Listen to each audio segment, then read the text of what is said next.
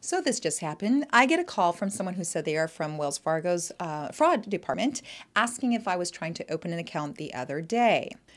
I wasn't, yet I was already hair standing on the back of my neck because I was wondering, well, is this somebody trying to pretend they're from the fraud department, trying to get information from me so that they can scam me? I said, well, where did this happen? And he said, oh, you know, California. And and then all, all of a sudden the call dropped. So I call the number that's to Wells Fargo, which happened to correlate to the number that the person called me from. And I'm thinking, well, maybe it was from the fraud department. However, the people at Wells Fargo said nobody would be calling from that number.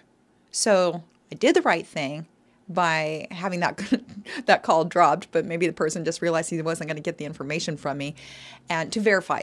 My suggestion to you is if you get calls like that, that you also just end that conversation and call the institution directly yourself and verify if that was an actual call or not. Have a great day. Be careful out there, everyone. I'm Kimberly Olbrich, your key to your home with Century 21 Citrus Realty. Peace.